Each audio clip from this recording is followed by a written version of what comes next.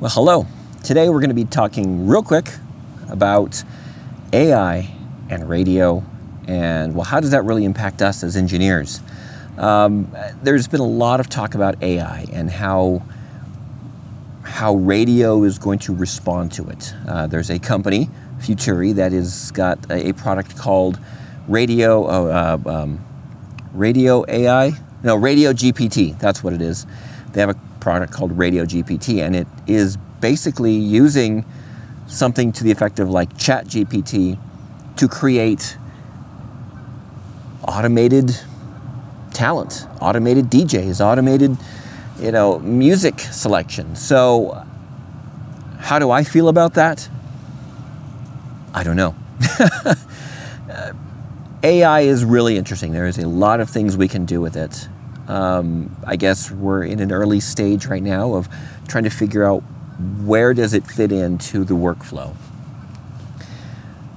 I'm not going to get into programming and content, and you know, I think I've made my position clear on content and radio and how that all is these days. But how can we as engineers utilize AI and maybe that is something that we could use to our benefit?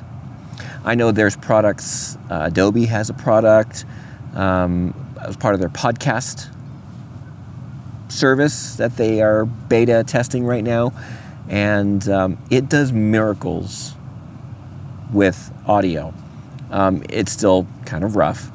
Um, I've used it a few times on some of my videos, and it's it's really interesting to see how AI and how that process of AI uh, can be beneficial to making our jobs easier.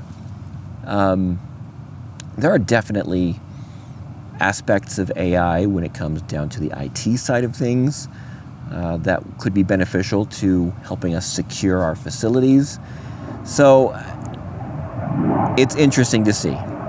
Something like Radio GPT, I'm not too keen on. I still think there is a human element to entertainment that needs to be there.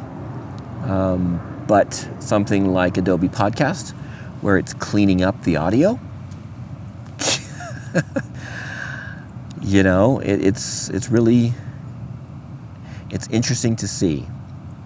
So, anyways, what do you think about AI and how we can utilize it in in engineering?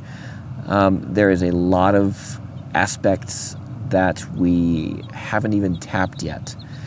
There's a lot of gatekeeping too. Uh, a lot of engineers who don't want what they do to be known because you know that could take away work from them. It's possible, but how can we utilize this technology to make our jobs easier, giving us more time to work on more projects? Anyways, that's my little discussion for this week, and um, yeah, you know, I move from one airport to next to another airport oh well. Thanks for watching. Thanks for being a part of this channel. And until next time, we'll see you.